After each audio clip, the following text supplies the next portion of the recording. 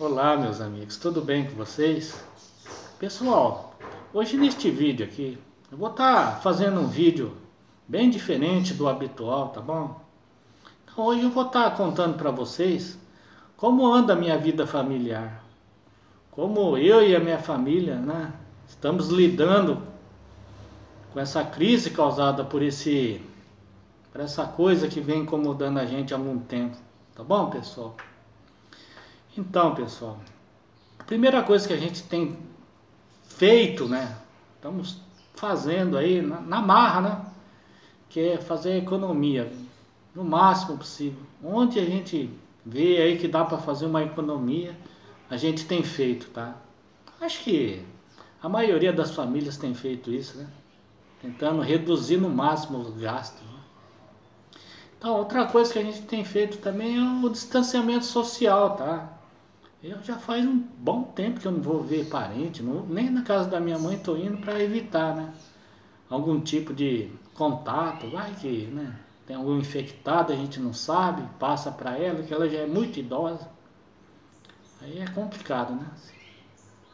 Gente idosa é pior ainda. Né? Então, pessoal, outra coisa que a gente tem cortado também são aqueles, aquelas, né, aquele churrasquinho de final de semana, Aquela pizza de final de semana, olha. Já faz tempo, viu, que eu não, não faço aí um churrasquinho. Um bom tempo. Já nem lembro mais os gostos da carne, viu? No churrasco. Tanto tempo já. Então, pessoal, tá difícil. Não é fácil não, tá difícil. Sei que, né, tá todo mundo passando por esse problema, né? Não tem... Só mesmo para quem tem muito dinheiro aí que não tá né? não está passando por esse, por essa, por esse problema, né? Muita gente aí que nem precisa, né? Se preocupar com isso, tem tanto dinheiro. Então, pessoal, uma coisa que eu gostaria de, né, falar para vocês, para você, né, que tá levando a vida, né, mesmo que seja aí, né, de uma forma meio que como eu estou levando, a gente tem que dar graças a Deus, viu, pessoal? Graças a Deus. Porque se você olhar para trás, o que, que tem de gente sofrendo. Tem gente, pessoal, vivendo assim de, sabe, de, de doação. Se você não doar, sabe, o alimento para eles estão. É duro, não é fácil não. Então, pessoal, voltando aqui. Aqui, aqui na minha cidade aqui, algumas, alguns comércios já começaram a funcionar, meio que aí com meia porta aberta, tá? Eles estão abrindo a metade das portas lá, então estão tocando a vida deles lá. Você chega lá, pede né, o que você quer, eles vão lá e buscam. Você não pode entrar dentro da loja. Não sei como que é, né? Loja de roupa, loja de calçado, como está sendo né, feito. Porque geralmente a pessoa gosta de provar, né? Uma roupa, um calçado. Agora eu não sei como está sendo. Até o shopping. Tem alguns shops aí, estão abrindo aí, viu? Com meia porta aí. Mas tá. Estão tocando a vida assim. Porque também, né? Já faz tanto tempo, né? Essas pessoas já estão. Ah, pessoal, tem alguns pessoal que já tá prefer, preferindo levar a multa do que deixar o comércio fechado, porque o prejuízo é tanto que acho que a multa sai até mais barato.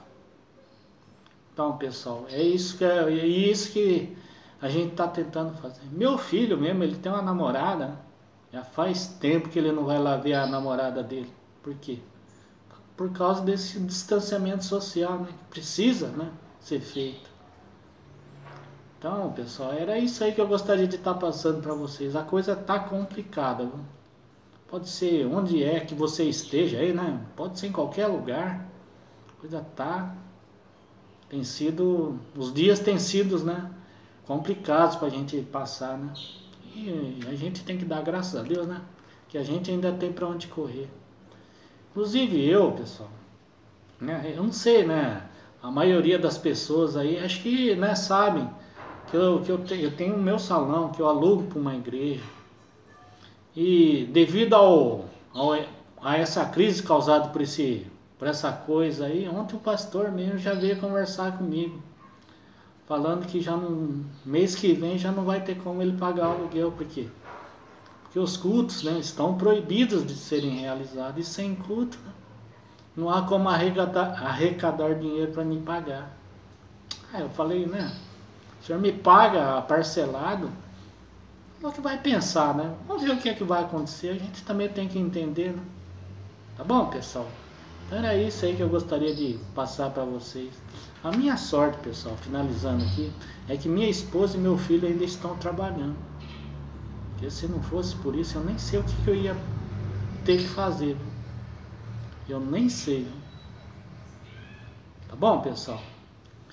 Pessoal, gostaria de agradecer a todos vocês que se inscreveram no meu, no meu canal, tá?